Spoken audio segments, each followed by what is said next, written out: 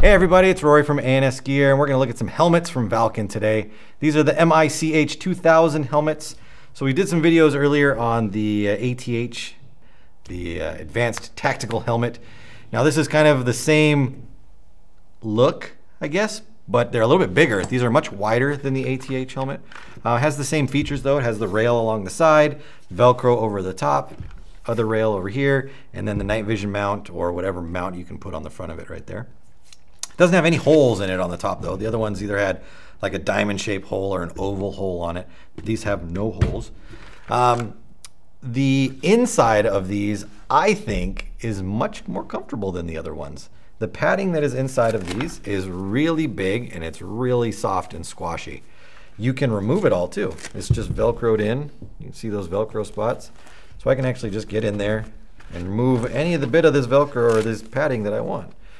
You can see the padding in there. So in theory, with these, you could actually take the padding out and replace it with some other padding that you found more preferable. Although this, helmet-wise, is probably the most comfortable helmet that I've ever worn.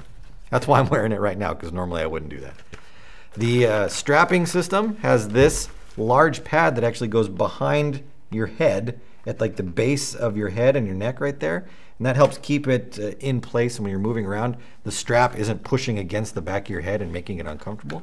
Tighten it down nice and it still feels comfortable on your head. And then you have this chin strap right here, which I'm not really wearing properly. It should go over my chin, but it makes it hard to talk to you. So I didn't put it there. You should though. This should go on both sides of your chin, kind of like a, a stirrup for your chin. Um, it's adjustable at four points. So here, here, here, and here, you can crank on it and get it to be nice and tight or loose or however you want to do it.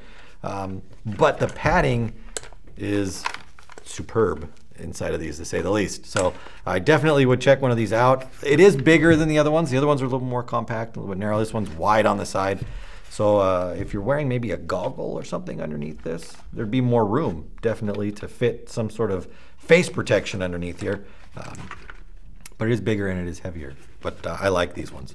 So check them out on the website. They come in three colors, black, tan, and olive. And it is the Valken MICH 2000, available through the website. Order yours now through ansgear.com.